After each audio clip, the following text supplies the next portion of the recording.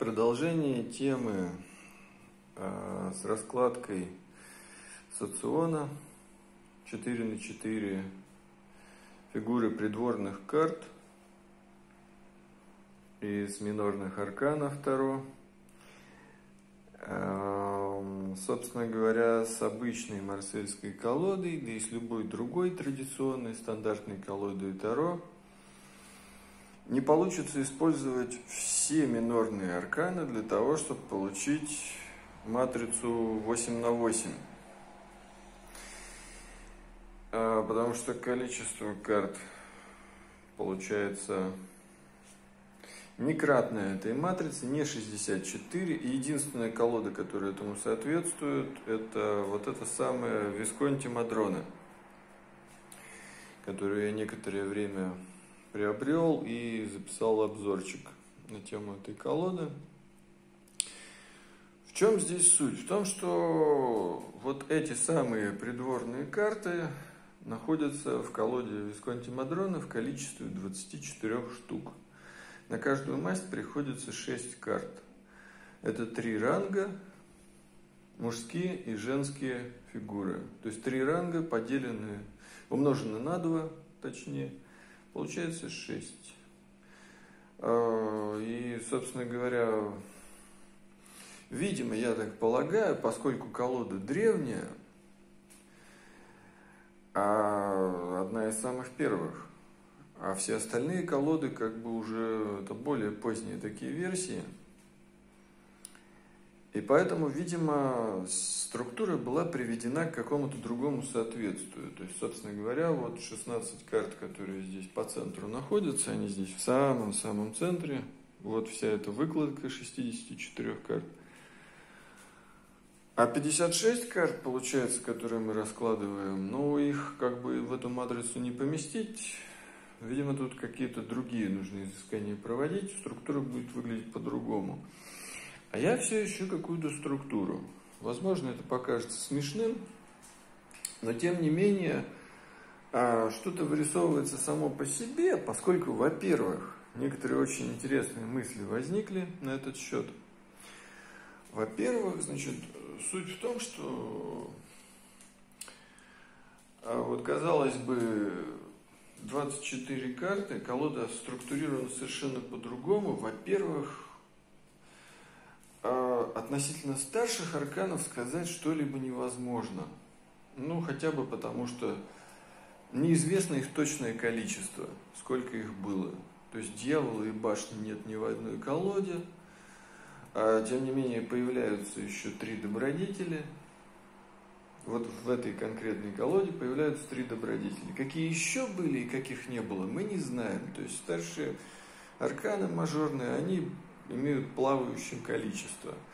Относительно же минорных арканов, то есть четырех мастей, мы знаем доподлинно их состояние. То есть вот то, что их такое количество здесь фигур, а, это выводится просто несложным таким дедуктивным методом. Сколько их здесь должно быть, и, видимо, столько их тут и должно быть.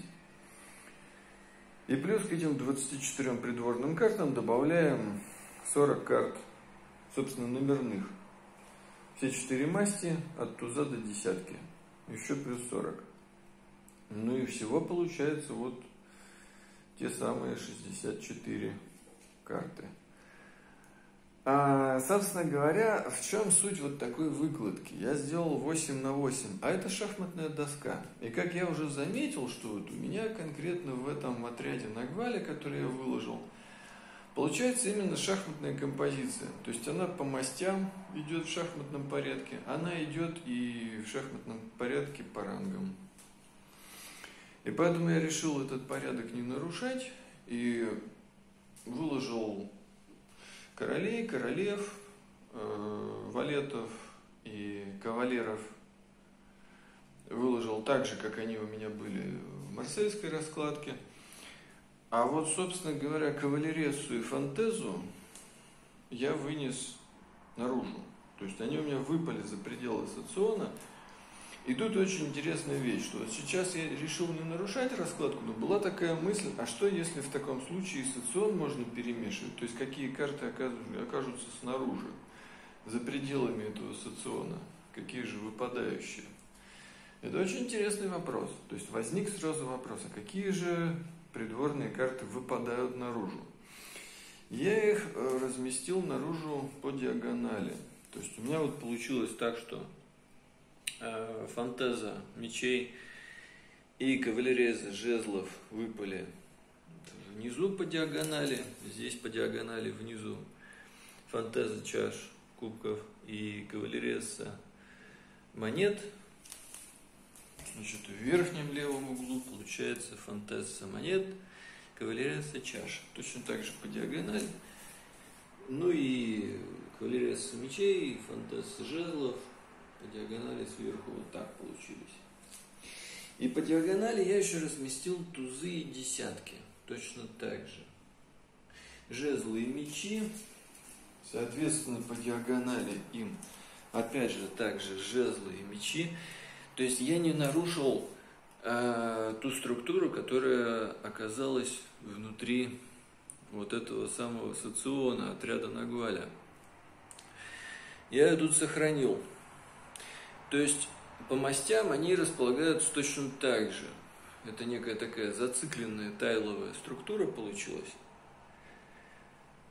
Вот, и, собственно говоря, вот эту композицию можно просто продолжать, то есть выложить еще таких три штуки, чтобы оказалось их четыре. И они будут просто как плитка узором повторяться, они просто будут повторяться. А, именно масть, именно по мастям. Ранги и числовые значения уже вот это отдельная история. То есть если я вот решил, что ну, это произвольное решение, которое напросилось, что десятки и тузы я выкладываю в шахматном порядке вместе с фантазами кавалересами, а вот остальные внутри мастей числовые значения – остаются под вопросом. То есть в каком порядке их расставлять. То есть какова должна быть структура, согласно четных, нечетных, или возрастанию и убыванию, в каком количестве, это вопрос открытый. И, в общем-то, это отдельная тема вот для, для таких медитаций. То есть, как, как всю эту структуру представить. Вообще, шахматную доску в голове представить довольно легко, потому что она имеет ну, довольно такой математический вид. И здесь вот именно шахматная доска, единственное, что она такая растянутая, потому что сами карты растянуты. Однако это шахматная доска 8 на 8, имеющая довольно странный вид. Что здесь делают цифры, сразу поясню. Значит, эти цифры, это магический квадрат 8 на 8, а, который еще упоминается в Ассафади. То есть это древние такие тексты, ирано-персидские, например, Шахнаме Фердоси, это где-то э, где-то 10, 9, 10 век, возможно, нашей эры. А вообще магическими квадратами, как я понял, занимались еще, увлекались еще 3000 лет до нашей эры. То есть где-то 3000 лет до нашей эры уже, в общем, владели этими магическими квадратами и умели их использовать. Хотя я не уверен, конечно, но вот так говорят. Я говорю то, что вот нашел, что упоминают, что, мол, их использовали, да. Конкретно вот эта история с Шахнаме упоминает некого Базаргмира, э, мудреца иранского, который э, по повелению иранского царя значит, должен был восстановить правила игры в шахматы. То есть парню Базаргмиру принесли шахматную доску и фигуры. Он, как говорится в фильме Кинзадза, эти куклы первый раз видит, и ему дали задание, а ну-ка воспроизведи правила игры, как нужно расставлять шахматные фигуры и как в них играть. Он такой, ну, задачка любопытная. Он берет шахматную доску и начинает как бы кумекать мозгами раскидывать, что с ней делать. Значит, он пересчитал количество клеток, сразу смекнул, что ага, 8 на 8 клеток, понятно. Пересчитал количество шахматных фигур, которых оказалось 32. Несложным образом вычислил, что количество пустых клеток равно количеству заполненных, то есть 32 пустых и 32 заполненных фигурами. Конечно же, то, что они были черные и белые одинаковые, это тоже облегчило ему задачу некоторую. Количество пешек и фигурных, э, и фигур, пешки и фигуры он тоже посчитал. В общем, у него и так все совпало, и он такой, ну вот, в общем-то, замечательно, да. Теперь я понимаю примерно, как их расставить. То есть варианты расстановки там шахматных фигур не просто в две линии. Их можно расставить еще несколькими способами. И он, видимо, тоже упомянул, что можно и вот так их еще расставить. И при этом игра тоже будет вполне себе осмысленная. Потом, значит, э, он, собственно говоря, применил магический квадрат. То есть это, видимо, возможно, первое, что он сделал. Именно применил магический квадрат – и структура магического квадрата, вот она в некоторых местах описывается по-другому. Я лично разложил этот 8 э, на 8 магический квадрат традиционным способом. То есть традиционный способ это разделить всю структуру на 4 поля. То есть 4 на 4 клетки. 4 на 4 клетки делим. Вот одна 4 клетки, вторая, третья, четвертая. Дальше делим их по диагонали крестом. И получается, что вот у нас вот так по диагонали выходит. Вот так. И точно так же те вторые два квадрата, три точнее, делим точно так же пополам. И начинаем расставлять цифры. Причем их можно в произвольном порядке расставлять. Вот как э, снизу вверх, задом наперед. Это, это совершенно значения не имеет. Важна просто очередность. А откуда начинаем, то есть этот магический квадрат может иметь вид зеркальный, зеркально перевернутый, симметричный, любой, но он при этом все равно остается именно таким. А, значит, суть в том, что вот я кладу цифры по диагонали по порядку. То есть 1, потом 2, 3, 4, 5, 6, 7, 8. Эти я пропускаю. Вот 63, 62 я пропускаю. Кладу по порядку 1, Здесь у меня 2, 3 я пропускаю, потом 4, 5, 6, 7 пропускаю, кладу 8. Дальше пропускаю, кладу 10, 11, пропускаю, пропускаю, 14, 15, 16 пропускаю, 17, 18 кладу, 19 кладу, 20 пропускаю, 21 пропускаю, 22, 23 кладу, 24 пропускаю, 25 кладу, 26, 27 пропускаю, 28 кладу, 29 кладу. То есть это уже пошел следующий, значит, вот, вот у меня зак, заканчивается уже два квадрата верхних. И, короче, я продолжаю, продолжаю, вот так выкладываю по этим диагоналям цифры. Вообще, видимо, это древний способ укладки этого магического квадрата, Magic Squares of AD. И заканчивается у меня, собственно говоря, тут э, на 64. Оп, все. То есть я с единицы начал, по диагонали у меня закончилось, потому что диагональ закончилась. И теперь я начинаю в обратном порядке раскладывать. То есть у меня начинается в обратную, в противоположную сторону. 2, 3, пропускаю 4, 5, кладу 6, 7, пропускаю 8, кладу 9, 10 пропускаю, 11 пропускаю, 12 кладу, 13 кладу, 14 пропускаю, 15 пропускаю, 16 кладу, 17 кладу, 18 пропускаю, 19 пропускаю, 20 кладу, 21 кладу, 22 пропускаю, 23 пропускаю, 24 кладу. И так продолжаю незаполненные все укладывать оставшиеся цифры до самого, до 63. А 64 у меня там по диагонали осталось. То есть у меня 1, 64 по диагонали, 8, 57 по диагонали. Значит, вот такое вот свойство выкладки. То есть выложить эти цифры гораздо проще, чем кажется, потому что есть четкая закономерность. В некоторых случаях, как я понял, в некоторых меняются местами. по диагонали цифры, самые крайние по диагонали. Но это несущественно. Не то есть вот, э, вот в таком виде это уже имеет тот самый вид, который, видимо, использовал Базергмир. То есть он вот таким же образом пронумеровал все 64 клетки на шахматной доске. И в чем суть этой нумерации? В том, что мы по диагонали от угла до угла получаем в сумме 260.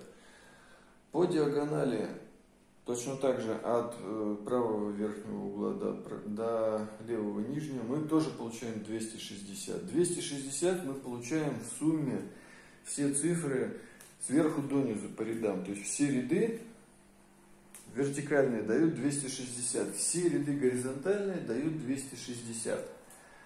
Я не берусь обобщать, что это как раз... Э, ну, у меня такая мысль была, что вот э, бифуркационная интервал бифуркационный, он что-то там равен э, 2,669, по-моему. Где-то так вот, если округлить. Но это так какая-то фантазия, я не возьмусь приводить именно вот эту цифру какой-то бифуркационной метрики. А, значит, что еще интересно? То, что в сумме 4 э, квадрата диагональных, то есть 4 квадрата в верхнем правом углу и 4 в нижнем левом, дадут в сумме тоже 260. Но ну, так должно получиться. Поэтому, если так не получается у меня, то, видимо, нужно цифры там по диагонали поменять. Что-то я не так сделал. Но вот так должно быть. То есть э, в свойствах этого магического квадрата вот эти четыре карты по диагонали и вот эти четыре должны дать 260. Точно так же вот этот квадрат и вот тот по диагонали 260, вот эти два квадрата и вот эти два 260. И, конечно же, внутри вот этого моего любимого отряда Нагваля по диагонали 260, 260. То есть группа у нас вот таким вот образом выстраивается, по 4. У меня получилось, что внутри каждого из этих квадратов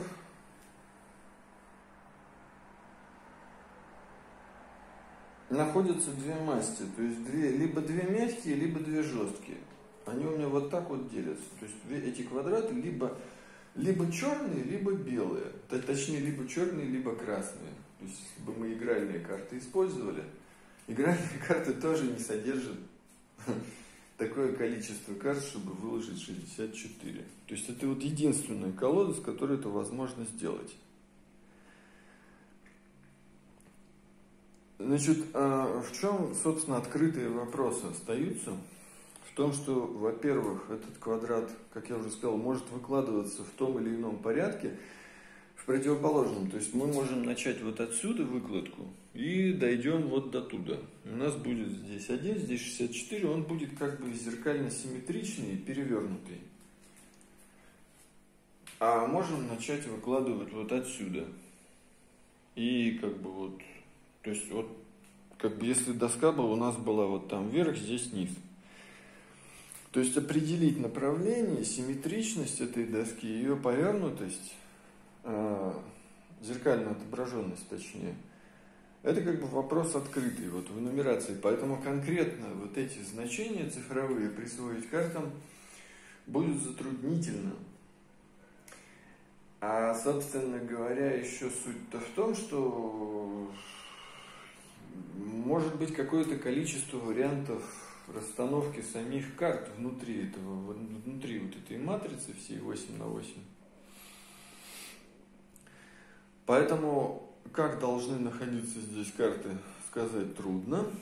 И как должны располагаться цифры, тоже трудно. Поэтому, чтобы цифра попала ровно в карту, наверное, не получится. И поэтому вот этот эксперимент с такой выкладкой, что я не поленился, вот и сделал таки. Потому что меня как-то в голове вот это вот сидело, ну и интересно. Ну, вот я выложил, чтобы зафиксировать это на видео. Тем не менее, не могу сказать, ну, насколько это перспективно, вот именно этот э, путь изучения минорных арканов. Почему они меня больше всего занимают? Они больше всего структурированы. То есть, несмотря на то, что считается, что душа Таро содержится в старших арканах, мне почему-то меня занимают больше всего младшие. Я вижу в них какую-то упорядоченную структуру, в которой еще не до конца понято вот это вот, что же там, сколько должно быть. И в самих придворных картах в них заключается наибольшая мутабельность, наибольшая изменчивость. А второй момент, когда вот я, собственно, выкладывал эти карты, я вспомнил, что на некоторых из них, типа сказано, были дырочки, чтобы повесить их на гвоздик. То есть изначально эти карты, вот сами оригиналы, эти старинные какого-то там 14 века, а, имели дырочку, что их на гвоздики вешали. И вот я думаю, так, вот если ты продырявил эти карты, то, ну, для игры или как-то, чтобы их связывать веревочкой, для чего же это может быть? Ну, считается, ну, для красоты их вешали на стенку, да, любоваться. Очень может быть, что для красоты вешали как картинки. Возможно, их таким образом связывали в некую охапку, чтобы они не терялись. То есть, как не потерять карты? Да намотай их, как ключи на, на колечко, на веревочку, и они не потеряются. Когда нужно, развязываешь. Но я вдруг подумал, что, наверное, вот, вот такую схему на полу иметь ну, неудобно. То есть по полу мы ходим. А вот на стенке взял и прибил гвоздики на расстоянии карты. То есть измерил вот саму карту, просто взял и по диагонали начал гвоздики вколачивать. Вот по углам карты. Просто карту на стену приложил, гвоздик бах, бах, бах, бах, бах, бах. Вот такое количество гвоздей, сколько карт. Потом продолбил дырочки в них и, собственно говоря, вешаешь на гвоздики. Я не знаю, я бы не пожалел эту колоду, чтобы дыроколом продырявить в ней дырочки, да вколотить в стену гвоздики и вот, собственно говоря, периодически вот эту картину всю развешивать, да ее созерцать. Потому что а что их созерцать просто так? Висит карта, и я ее созерцаю. Вот она какая красивая. Нет, красота-то как раз вот в этом. То есть красота в том, что я вижу некую мандалу, матрицу, некоторую янтру, то есть нек, некий механизм, в котором очень много смысловых нагрузок сокрыто, и вот это как раз тема для, для созерцания. Навесить вот эти, потому что я могу подойти к стене и перевесить какие-то карты. Это довольно легко. И смотреть, и дальше наблюдать. Это может занимать какое-то длительное время. Как их перевешивать? Туда, сюда, туда-сюда. Другие вот эти таблички цифровые, да, их тоже можно сделать с дырочками, на этот же гвоздик приделать, привешивать. И вот тут-то эти дырочки под гвоздики у меня несколько в новом ракурсе высветились. Я думаю, а, смотри-ка, может они не зря эти дырочки делали в картах, может они не просто так любовались на них, а при том, что они имели вот эту самую колоду, которую я сейчас вижу. Вот я ее сейчас вижу, и они, видимо, имели точно такую же. Эти самые 64 карты. В этом можно быть в какой-то степени уверенным. Если насчет 22 старших арканов я вообще не уверен, то здесь можно иметь какую-то уверенность, что их было 64. Так, очень замечательно. А какие еще закономерности? Я в прошлом видео говорил, что должны быть еще какие-то закономерности. Я их, разумеется, нашел. Я пытаюсь вспомнить все, что я здесь увидел.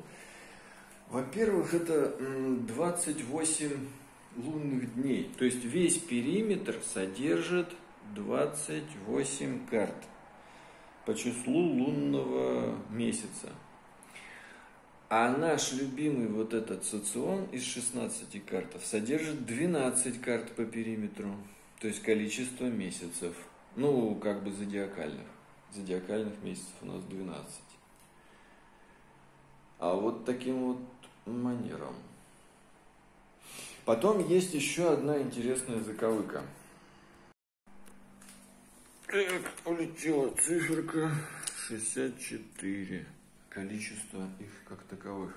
Может, неспроста улетело. Значит, еще одна математическая такая головоломка связана с тем, чтобы найти, сколько квадратов на шахматной доске, каково их количество. А, ну и, разумеется, мы понимаем, что, во-первых, их 64. 64 клетки, то есть 64 карты. А второе, что мы понимаем, мы имеем один большой квадрат. Один квадрат, 8 на 8 этих самых клеток. Это тоже квадрат, он образует квадрат. И таким образом мы должны вычислить, а сколько у нас 2 на 2? То есть это группа 2 на 2. Это такая микрогруппа. Точнее, как это в математике называется, подмножество. То есть мы имеем множество, а, мы имеем систему. Система состоит из старших арканов, младших арканов. И вот эта вот система, декомпозированная микроколода из младших арканов, она у нас декомпозируется на подмножество, которое мы можем декомпозировать, опять же, разными способами. По рангам, по мастям, по числам. И вот здесь у нас образуется подмножество внутри матрицы. То есть, во-первых, 2 на 2. Сколько будет клеток 2 на 2? Их будет 49. Как посчитать? Мы должны посчитать вот эти промежуточные точки между клетками, которых, ну, которые являются центром квадрата. Их будет 49. По всей шахматной доске их будет 49. А мы должны посчитать дальше 3 на 3. То есть вот 3 на 3 вот такой вот квадрат. 3 на 3 а, здесь будет 36. Каким образом выясняем? Мы смещаемся отсюда чуть дальше и укладываем, то есть считаем количество вот этих самых карт. То есть отходим на одну. На одну сверху, на одну снизу. Количество их по всей будет равно 36 квадратов 3 на 3, 36. Значит, квадратов 4 на 4. Их будет 25. То есть, если мы смещаемся, если мы постоянно смещаемся, мы попадаем в очередное подмножество. То есть, у нас из подмножества выпадают какие-то карты, какие-то добавляются, и мы имеем новое подмножество. Значит, квадратов 4 на 4 будет 25. Каким образом узнаем? Мы точно так же смещаемся на еще одну в сторону. То есть вот эта точка будет центром 4 на 4, квадрата 4 на 4. Вот она эта точка. И мы начинаем считать количество этих точек. Все закончилось. Раз, два, три и так далее. Э, то есть, собственно говоря, эта точка будет находиться в углу нашего дома на Гвале, в углу социона. Вот мы считаем 4 на 4, 25. Этих точек будет 25. Значит, дальше 5 на 5 квадрат, их 16. 6 на 6, их 9. 7 на 7, их 4.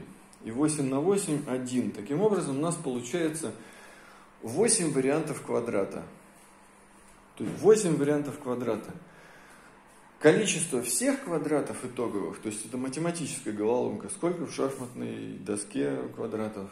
И а, количество всех квадратов будет кратно 200 четырем. 204 квадрата всего. И тут очень интересно, что у нас есть волшебная цифра 260, и у нас есть волшебная цифра 204. Сколько подмножеств? Сколько можно вот в этом одном большом множестве выделить подмножеств? Симметричных подмножеств заметим. Значит, а, и вот тут вот очень интересно, то есть э, у меня вопрос возник, а каким образом вот здесь 204 получилось, и каким образом вообще получилось 260? Считается, что Базаргмир использовал некую 65-ю клетку. И вот тут начинается мистика. То есть на шахматной доске 64 клетки, но он использовал 65-ю, которая находится вне доски. То есть некую метафизическую клетку, которая нужна для вычислений, она ему также была нужна для вычислений, чтобы, а, значит, он разложил цифры немножко по-другому. Вот имеет смысл как раз эти гвоздики для цифр, чтобы разложить еще такую систему, что вот э, по диагонали, например, вторая карта и вот эта карта по диагонали, они должны в сумме давать 65. Вот так вот. Вот откуда 65 получилось. Вот эта карта – и вот это должна давать в сумме 65. 63, 64, 65. Хм. Так, 58,7.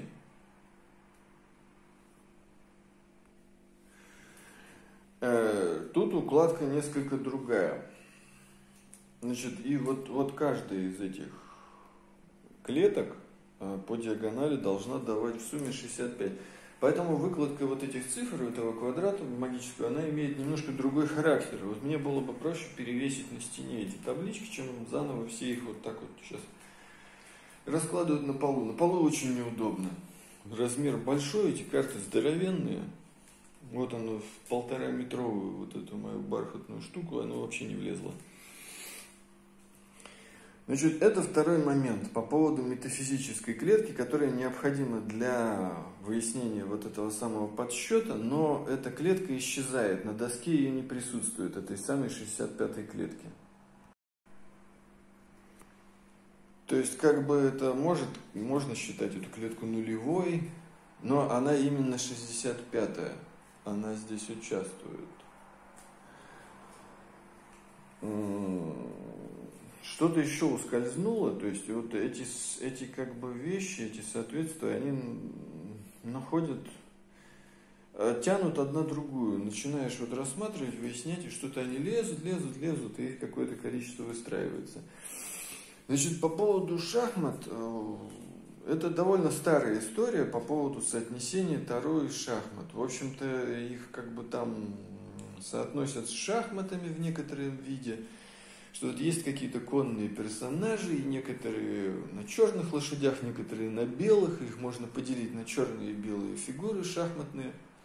Хотя как бы шахматной доски нет, если вы традиционную колоду из 78 карт берете, то ее там и не получится никак воспроизвести. То есть это будет как-то притянуто за уши, потому что тут вот, ну, притянуто за уши, но оно хотя бы вот...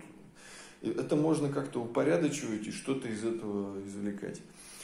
А, ну, в 78, видимо, не получится. Оно уже приведено к некой другой системе. То есть там работают другие принципы.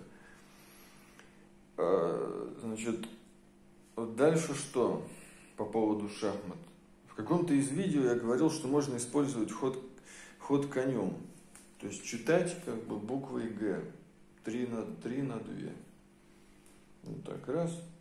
Ход конем. Прочитал.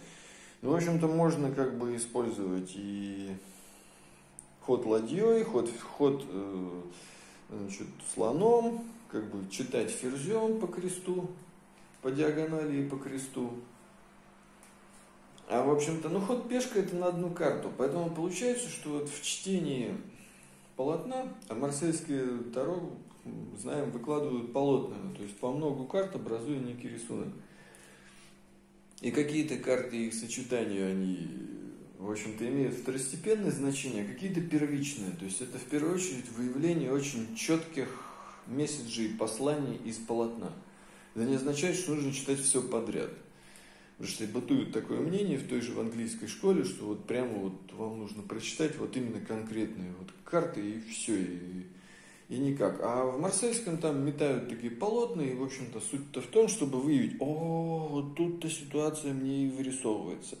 А там это уже как бы дополнение. Ну, можно прочитать, но вот здесь интересно. К примеру. Так вот, в полотне, например, 5 на 5, 7 на 7, 9 на 9, такое полотно такое здоровенное, вообще всю колоду займет, еще и не хватит, еще, еще нужно будет дополнительно.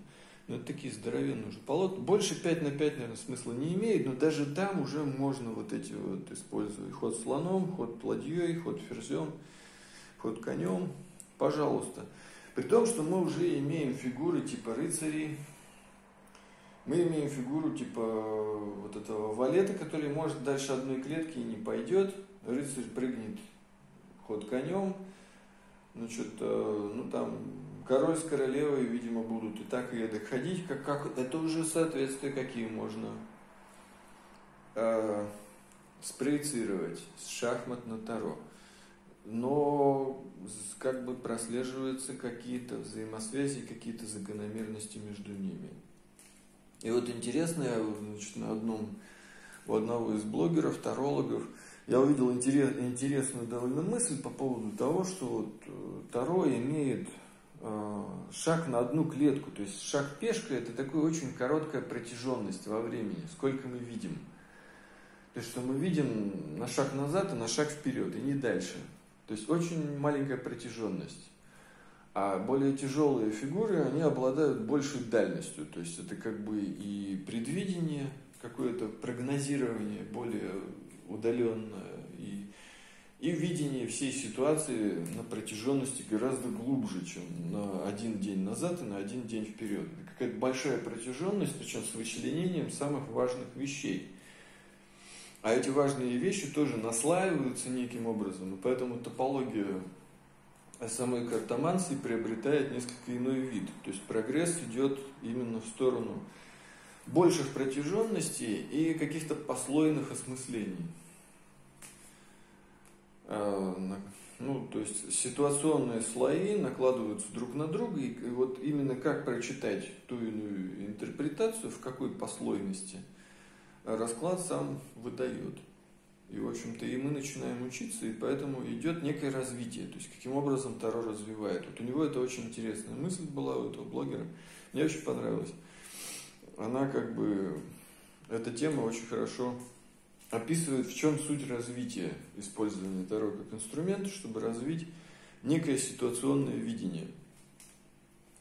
И, соответственно, как бы и в своей жизни-то уметь разбираться чуть поглубже что, что с тобой происходит и в какую сторону ты движешься, вот в какую сторону я двигаюсь. Что я не двигаюсь там вот в следующий день просто и делаю планы только на следующий день, а я как-то прогнозирую и строю планы, как мне быть гибче, чтобы иметь возможность как-то просочиться там на, на год или на полгода вперед. То есть в гибкости планов, потому что можно видеть ситуации послойно, что ты можешь скатиться в один слой, в другой. То есть это какие-то слои интерпретационные, ты видишь, что будет, если вот здесь так произойдет, так вниз пошло, что будет здесь, по диагонали пошел, и вот так вот плавать по слоям, и все это читать. В английской школе, как я понял, вот все, кто пользуются Уэйтом, Кроули, там еще чем-то, они говорят, что не, не, это на слишком надолго, это занимает какие-то длительные время – а дырочки зачем в картах? Что типа вот этот расклад его невозможно читать годами. И что он меняется, как только ситуация поменялась. Так вот, может, дырочки-то как раз из-за этим, что гвоздиков в стене прибито какое-то количество – Поэтому развешивают расклад на стену, начинаем менять местами, что-то перевешивает. Происходит стратегическое планирование. Карта Таро становится стратегическим планированием. Почему это колоды обладали а, Сфорца? Почему Висконти и Сфорца обладали такой колодой? Может, они использовали ее как инструмент для планирования, чтобы разобраться в ситуации? Может быть. Основная идея версии, что они играли в эти карты. Они просто резались в тарок, не хочу сказать дурака, они резались в тарок. И, в общем-то, и все. И на этом заканчивали. И любовались этими кар- картинками, висящими на стене. А может быть, они знали значение, не просто ж так это все изображено, правда? Если есть какой-то определенный смысл, если мы знаем, что э, в мажорных арканах зашифрованные аллегории, некие, некие значения, аллегорические, смысловые, и они уже были известны тогда. Я уж молчу о том, что эти магические квадраты уже на тот момент уже прекрасно знали это все. И те, кто играют в шахматы, они прекрасно понимают, как вся эта математика выстраивается. И почему на доске именно 64 клетки. И какой смысл в том, что эти клетки черные и белые, что их 32, и фигуры 32. То есть все пополам.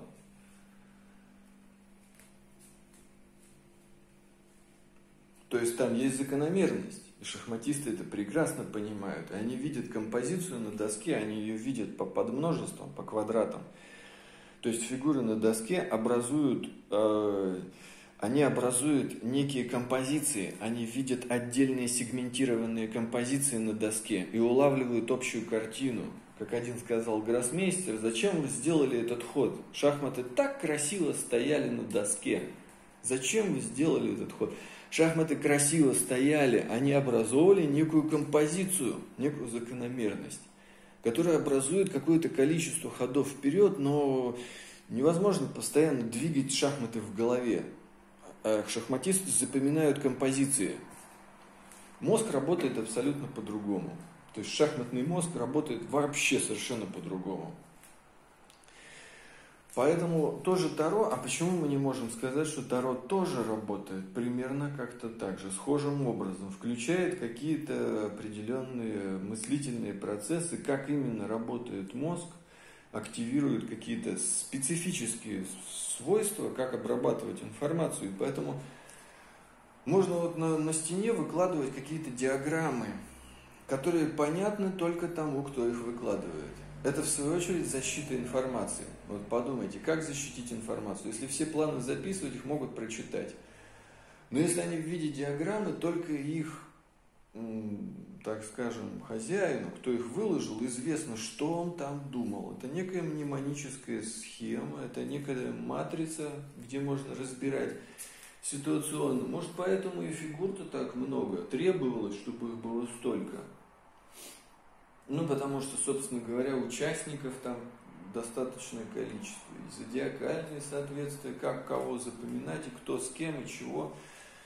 И вот они там перекладывали, возможно, с гвоздика на гвоздик эти карты, рассматривали эти комбинации, композиции, что-то выясняли. То есть это как бы может действительно занять на какое-то время. Если сейчас считается, что это совершенно глупое занятие, убивать время – то в те времена, возможно, это было не глупым занятием, потому что нужно было как-то убивать время. А чем его еще убивать вот там вот в XIV веке? Вот чем его еще убивать это время?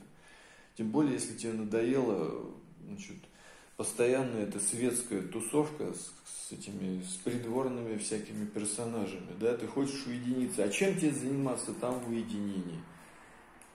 Возможно, вот этим возможно, каким-то структурным анализом.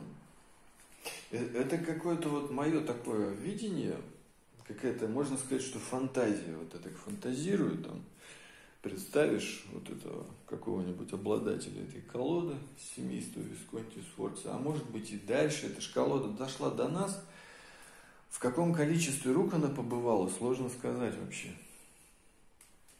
Была ли она отреставрирована в какой-то момент? Была ли она дополнена? Откуда мы можем знать, что вот она именно в том виде дошла? Возможно, какие-то карты меняли, а их наверняка меняли.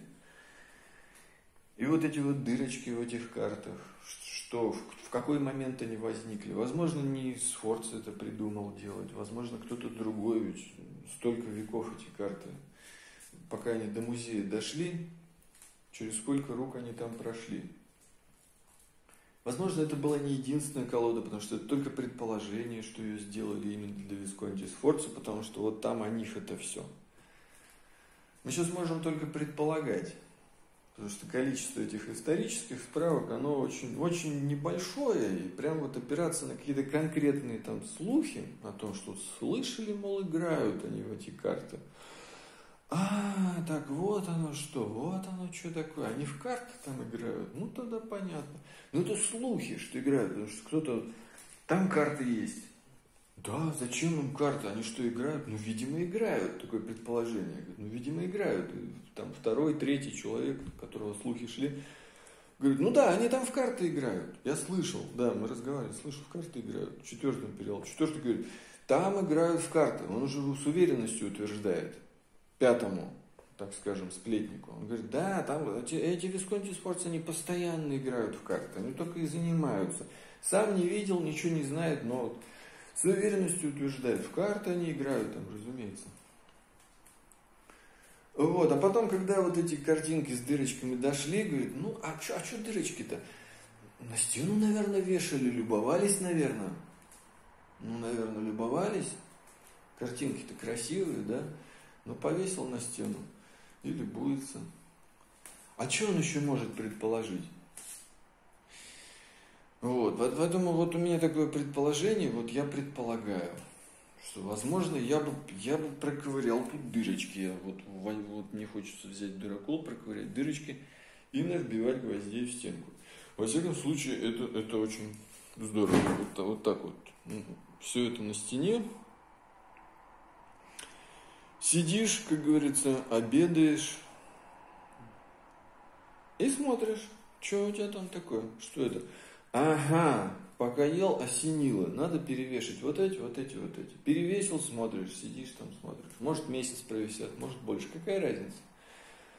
Вот они висят постоянно на виду, вот она и медитация и есть. Поэтому дырочки в этих в картах не такая уж и плохая мысль. Во всяком случае, как бы, как настольные именно, как настольная практическая колода, что-то никто ее, наверное, не использует. Я вот прям не видел, чтобы кто-то говорил, что ее можно использовать. Во-первых, говорят, вот эти все мы поубираем, вот эти лишние, вот которые у меня по диагонали, мы их придворно убираем сразу. Они нам не нужны, мы их не понимаем. Ну, замечательно, не понимаем. Ну, как, как говорится, кастрировали до привычных размеров. Кастрировали потенцию до привычных размеров. Хорошо. Потом, значит, эти самые э, добродетели тоже убираем. Зачем они тут? Вообще непонятно. Кастрировали старшие арканы. Хорошо. То есть привели колоду э, к понимаемому соответствию, к размерам, к удобным, привычным размерам, прокрустовым методом. И что дальше? И что дальше? Гадать на ней, что ли? А неудобно, неудобно. Карты большие. И самое это смешное, я всегда над чем угораю. Тут нет названий и цифр. А, как их используют? Тут ни названий, ни цифр нет. Я уж не говорю про картинки. Возьмет этакий вейтовец, вот эту шестерку чаши. Говорит, так тут же ничего не нарисовано. А что с ней делать-то, с этими картами? Тут ничего не нарисовано-то. Ой-ой-ой-ой. Все нельзя использовать. То есть все, вердикт поставлен. Это для коллекционных целей. Любоваться на эту колоду. Ну а раз на нее только любоваться, то, наверное, дырки продырявить в ней не грех. Правда? Дыроколом. Чтобы аккуратненькие такие дырочки – и навешивать на стену, да? Ну а что бы нет-то, раз она для красоты. Вот такие вот соображения. В общем-то, я еще зачем это все выложил, собственно говоря, чтобы вот зафиксировать, чтобы можно было вот потом пересмотреть видео, что я тут выложил. Ну, потому что не каждый день можно вот так выкладывать, на полу занимает вообще все помещение. Вот такой вот, таким полотном. Не каждый день. А на стенке каждый день.